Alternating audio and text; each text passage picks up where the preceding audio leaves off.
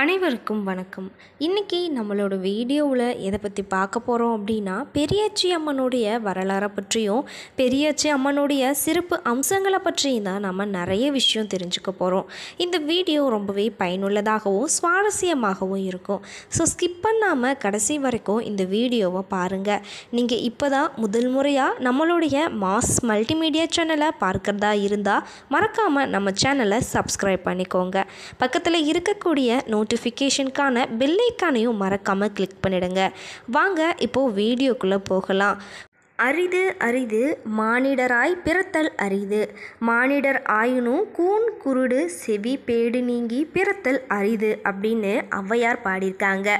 அது மட்டும் அல்லாமல் பொதுவாக ஒவ்வொரு தம்பதியருக்கும் தனக்கு பிறக்கக்கூடிய குழந்தைகளுக்கு ஆரோக்கியத்துடனும் பிறக்க வேண்டும் என்பது தான் வேண்டுதலாகவே இருக்கும். உடல் ஆரோக்கியத்துடன் பிறக்கும் குழந்தைகள் சுமார் பதினோராவது மாதம் பேச ஆரம்பித்து விடுவார்கள். சில குழந்தைகள் இரு வயதானாலும் அம்மா அப்பா மாதிரியான சில வார்த்தைகளை மட்டுமே பேசுவாங்க. இந்த மாதிரி குழந்தைகள் மற்ற குழந்தைகளை போல பேச வேண்டும் அப்படின்னா பெரியாச்சி அம்மன் கட்டாயம் துணை நிற்கிறாங்க. இவள் பேச்சுக்கு மட்டுமல்ல கல்வி செல்வத்தையும் வாரி வழங்கும் பிரசித்தி பெற்ற பழமை வாய்ந்த அம்மனாக தான் பெரியாட்சி அம்மன் இருக்காங்க. பலருக்கும் குலதெய்வமாகவும் பெரியாட்சி அம்மன் இருக்கிறாங்க. அவ்வாறு பெரியாட்சி அம்மன் குலதெய்வமாக கொண்ட மக்கள் தாங்கள் இடம்பெயரும் இடங்கள் அவருக்கு கோயில் எழுப்பியும் பெரியாட்சி அம்மனை வணங்கி வராங்க. நம்மளுடைய தமிழகத்தில் பல இடங்களிலும் பெரியாச்சி அம்மனுக்கு கோவில்கள் நிறையவே இருக்குன்னு கூட சொல்லலாம். அது மட்டும் இல்லாமல் மதுரை கருக்கில் சிம்மக்கல் என்ற இடத்திலேயும் அருள் புரியும் பெரியாட்சி அம்மன் கோவிலை நாம் பார்த்துருப்போம். பொதுவாக நம்ம சிம்மக்கல் பகுதியில் சிறுவன் ஒருவன் குடும்பத்தை விட்டு பிரிந்து சென்றிருக்காங்க. அவ்வாறு பிரிந்து சென்ற சிறுவன் சொந்த ஊரிலிருந்து தூரத்தில் இருக்கும் ஒரு ஊரில் வாழ்ந்து வந்திருக்காங்க. அதன் பின்னர் அந்த ஊரில் இருந்த பேச்சி அப்படின்னு சொல்லக்கூடிய ஒரு பெண்ணை திருமணம் செய்து இருந்திருக்காங்க. அதன் பின்னர் அவருக்கு ஊரில் எதிர்ப்பு இருந்திருக்கு. அந்த ஊரை விட்டு விலகி காட்டில் குடிசை போட்டு வாழ்ந்து வந்திருக்காங்க. சிறு வயதில் பிரிந்து சென்ற சிறுவன் அதாவது வளர்ந்து திருமணமாகி காட்டில் குடிசை போட்டு வாழ்ந்து வருது அனைவருக்கும் தெரிய வந்திருக்கு. அதன் பின்னர் அவருடைய குடும்பத்தார் அனைவரும் தேடி வந்திருக்காங்க. வந்தவர்கள் பேச்சை அதாவது தாழ்த்தப்பட்ட இனத்தை சார்ந்தவள் என்றும் அவள் தற்போது நிறைமாத கர்ப்பிணி என்பதை அறிந்து அவளை விட்டு அவனை மட்டும் தங்களோடு வரச் சொல்லி வற்புறுத்தி கேட்டிருக்காங்க.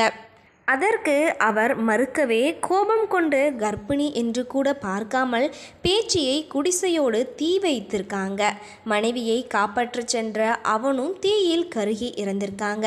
தன்னோட சேர்ந்து தன் கருவையும் கணவரையும் கொன்றவர்களின் குலத்தையும் ஊருக்குள் வாழ விடாத தனது பிறந்த ஊரையும் அழிப்பதாக பேச்சு சபதம் கொண்டு பேச்சி கணவரின் குடும்பத்தாரையும் மற்றும் அந்த ஊர்க்காரர்களையும் ஒன்று சேர்த்து தங்களை காத்துக்கொள்ள குறி சொல்லும் ஆட்களில் மூலமாக பேச்சியின் ஆவியை வரவழைத்து அவர்களிடம் மன்னிப்பு கேட்டு கோபம் தணிந்து தங்களை வாழ விடுமாறும் வேண்டியிருக்காங்க. அவளுக்கு ஒரு கோவிலை எழுப்பி அவளை குலதெய்வமாக வழிபட துவங்கியிருக்காங்க. இதன் மூலமாக தான் பேச்சியம்மனை ரொம்பவே பிரசித்தி பெற்ற பழமை வாய்ந்த கோவிலாக கட்டி வணங்கி வராங்க. அது அதன் பின்னர் பேச்சியம்மன் இறந்ததும் அவளையே பெரியாச்சி அம்மனாக்கியும் தங்கள் ஊர் காக்க வேண்டிய தெய்வம் ஆக்கியிருக்காங்க. காலப்போக்கில் அம்மனுக்கு பேச்சியம்மன் பெரியாயி அம்மன் என்ற மற்ற பெயர்களிலும் வ வணங்கப்படுறாங்க. அது மட்டும் இல்லாமல் அந்த ஊர் மக்கள் சென்ற இடங்களிலெல்லாம் பேச்சியம்மனுக்கு கோயில் கட்டியும் வணங்குறாங்க. மதுரை நகரின் சிம்மக்கல் பகுதியில் பேச்சியம்மனுக்கு ஒரு கோவிலும் இருக்குது கருவறையில் இருக்கும் பேச்சியம்மன் சுயம்புவாய் உருவாயிருக்காங்க. பேச்சியம்மனின் வலது துர்க்கம் ஓங்கியதும் இடது கையில் குழந்தையுடன் காலில் அரக்கனை மிதித்து இருப்பது போன்றும் இருக்கிறாங்க. இந்த பேச்சியம்மனை சரஸ்வதி காளியம்மன் அம்சம் என்றும் மக்கள் நம்பப்படுறாங்க. இந்த ஆலயம் எழுநூறு ஆண்டுகளுக்கு பழமை வாய்ந்த ஆலயம் அப்படின்னு சொல்கிறாங்க அது மட்டுமல்ல இல்லாமல் இந்த ஆலயத்தில் விநாயகர் முருகன் மீனாட்சி சுந்தரேஸ்வரர் மகாலட்சுமி சரஸ்வதி தட்சிணாமூர்த்தி காளி துர்க்கை மற்றும் ஆஞ்சநேயர் நவகிரகங்கள் கருப்பசாமி இருளப்பசாமி ஐயனார் வீரமலை பெரியண்ணன் சின்னண்ணன் சப்த கன்னிமார்கள் நாகர் உள்பட இருபத்தொரு தெய்வங்களும் அமைந்திருக்காங்க. எனவே இந்த பெரியாச்சி அம்மன் கோவில் ரொம்பவே பழமை வாய்ந்த கோவிலாக தான் இருக்குது இந்த கோவிலுக்கு தல விருச்சமாக ஆலமரமும் வேப்ப மரமும் ஒன்றாக வளர்ந்தது ரொம்பவே தனி சிறப்பு வாய்ந்ததுன்னு கூட சொல்லலாம். அதற்கு கீழ் உள்ள நாகர் சிலைக்கும் கோவில் இருக்கும் துர்க்கை அம்மனுக்கும் ராகு காலத்தில் பூஜையும் செய்யப்படுறாங்க. அது மட்டுமல்லாமல் இந்த ராகு கால பூஜையின் மூலமாக ராகு கேது தோஷம் நீங்கும் அப்படின்னு சொல்லப்படுறாங்க.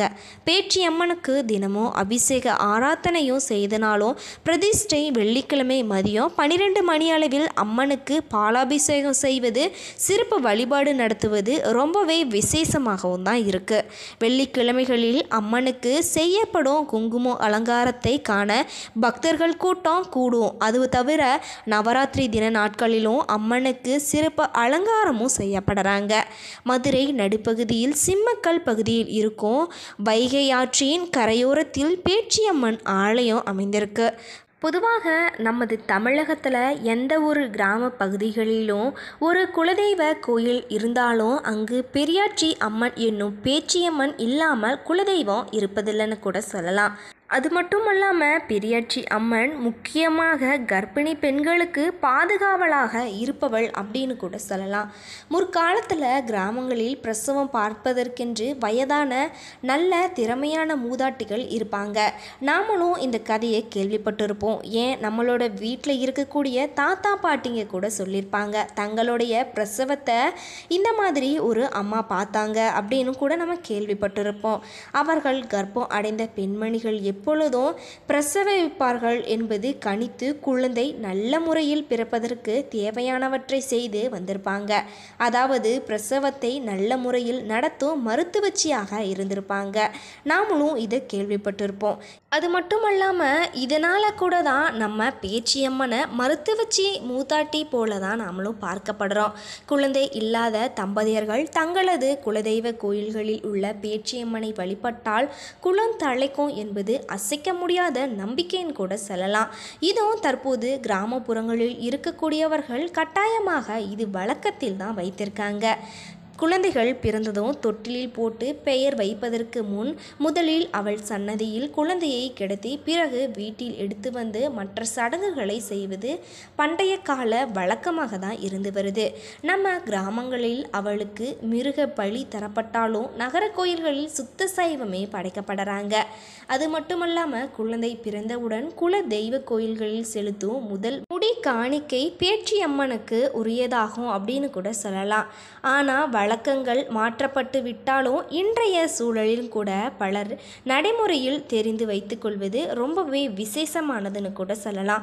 அது மட்டுமல்லாமல் பிரசவத்திற்கு பிறகு குழந்தையின் முதல் கோவில் வருகையின் போது பெற்றோர்கள் தங்களது ஒரு மாத குழந்தைகளை தெய்வத்திற்கு அர்ப்பணித்து குழந்தையை தெய்வத்தின் முன் தரையில் அல்லது அவரது காலடியில் வைக்கிறாங்க.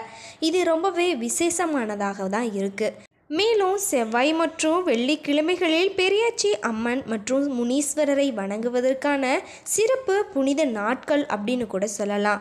தெய்வத்தை வழிபடுவதற்காக தமிழ் மாதமான ஆடி மாதம் பெரியாச்சி பூஜை என்ற திருவிழா நடத்தப்படுது. அவர் தமிழ் மாதமான தை மாதத்திலும் கூட வணங்குவது ரொம்பவே சிறப்பு வாய்ந்ததுன்னு கூட சொல்லலாம்.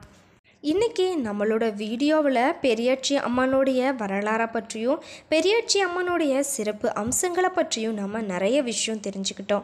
இந்த வீடியோ ரொம்பவே பயனுள்ளதாகவும் சுவாரஸ்யமாகவும் இருந்திருக்கும்.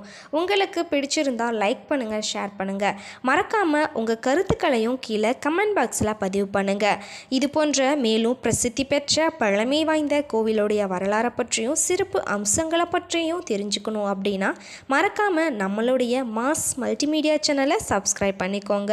பக்கத்தில் இருக்கக்கூடிய நோட்டிஃபிகேஷனுக்கான பெல்லைக்கானையும் மறக்காமல் கிளிக் பண்ணிடுங்க. நன்றி நண்பர்களே.